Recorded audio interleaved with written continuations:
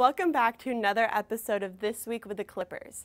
Today we're going to talk about the team's exhaustion.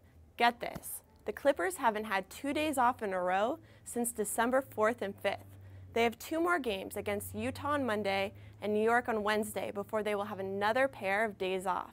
That's nearly a month of playing at least every other day, and oftentimes two days in a row.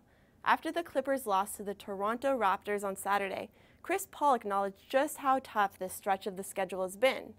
Felt like we ran out of gas before the game even started, he said after the team's 110-98 loss. We were just trying to stay the course. The Clippers have lost four of their last six games. They did have a Merry Christmas, though, beating the Golden State Warriors 100 to 86. It was a great win because the Warriors are the top team in the very competitive Western Conference, five games ahead of the sixth place Clippers. The fact that they're good is a two for one because you get a win and they get a loss and it swings them closer to you if they're ahead, said Clippers coach Doc Rivers.